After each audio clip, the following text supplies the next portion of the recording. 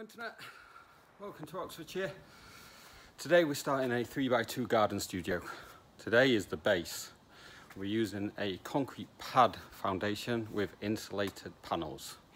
Pretty simple one to start with as this has got a hard standing base already.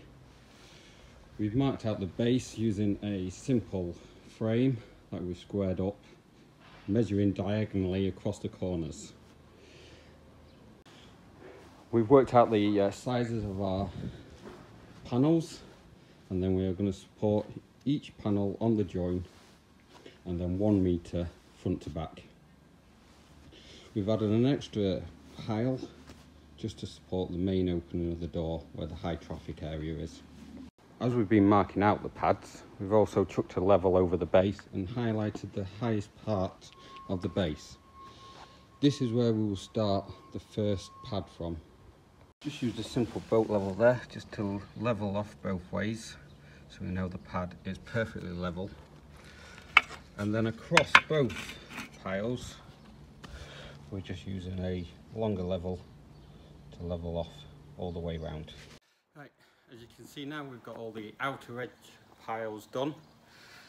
What we've been doing I was leveling it with the boat level, making sure it's level all the way round, and then leveling it with the long level on each pile, twisting the level around each time you move it, just in case you're that one, one mil out, you can then raise it up.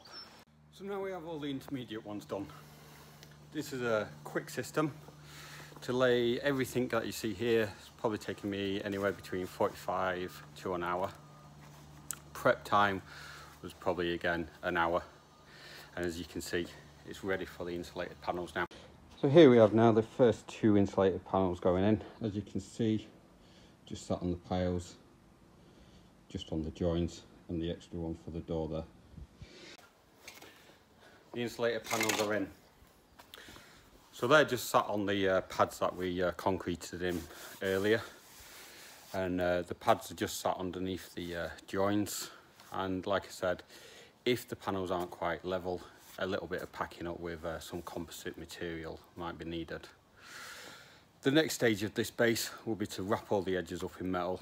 One, to protect the foam, and two, to give it a 90 degree angle on there so there's no danger in compression. So we've just wrapped around all the edges of the panels in a uh, 90 degree bend metal flashing, like I said, to protect the edges and create that uh, 90 degree bend so there's no danger of the walls crushing the edges of the panels.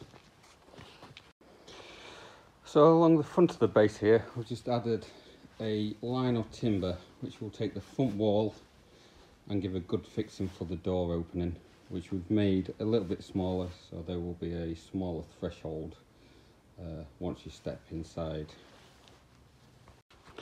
And once again we've just covered the front of that in a metal flashing to protect the front edge. As you can see, we just screwed everything up with these flatheaded screws, just so there's nothing protruding that will make the any of the walls unlevel. Well, that's it for this video. Follow us back down to the workshop where we'll be making the pre-made panels. Take care of yourself on site, look after yourself, and make sure you're nice to each other. Back to you, Patricia.